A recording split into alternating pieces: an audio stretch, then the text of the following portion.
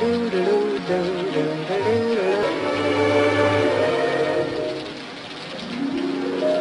singing in the rain, just singing in the rain. What a glorious feeling, I'm happy again. I'm laughing at clouds so dark up above. And the sun's in my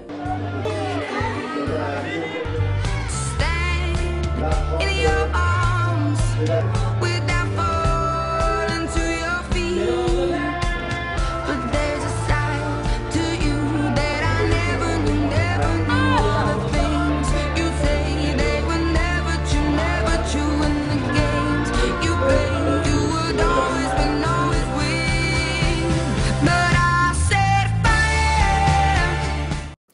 I morgen bliver Thomas Winterbergs film Jagten vist på Filmfestivalen i Cannes. Og DR's korrespondent tog en tur op ad strandpromenaden med en forventningsfuld hovedrolleindehaver.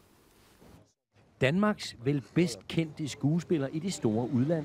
C'est bon Super, merci beaucoup. Måske på vej mod mere heder. Du vil sikkert ikke forholde dig til det, men men jeg har bare allerede læst, også i internationale medier, at du allerede nu er potentielt i spil som, som årets skuespiller. Er det rigtigt? Ja, så bliver jeg jo glad.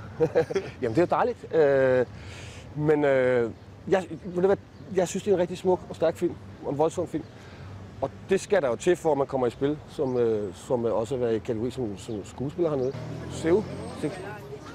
Stjernestatus er der ingen tvivl om. Der er vist noget galt her. Men i jagten spiller Mads Mikkelsen sammen med Susse Bold, en af fortidens stjerner, der efter mange år væk gør comeback. Kigger du lige ind et øjeblik? Hvad er det, vi kan? Hvad er det, dansk film kan? Det er lidt sjovt, fordi jeg fik jo det spørgsmål, vi var i forbindelse med noget andet, jeg lavede over af pressen. De kendte jo alle sammen det, som de kaldte boring. Det viser sig at være borgen, fandt jeg ud af. Og uh, The Killing, som er forbrydelsen. Ikke? Ja. Og det er enormt stort.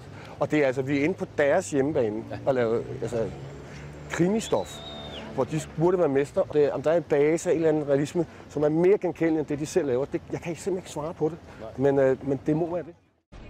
When I was a kid, I never dreamt of being an actor, but I, I did want to be somebody with a sword, for real, you know. And of course, everybody wants to be that or ride a horse, or, and then you get a chance and you do it when you're fairly old.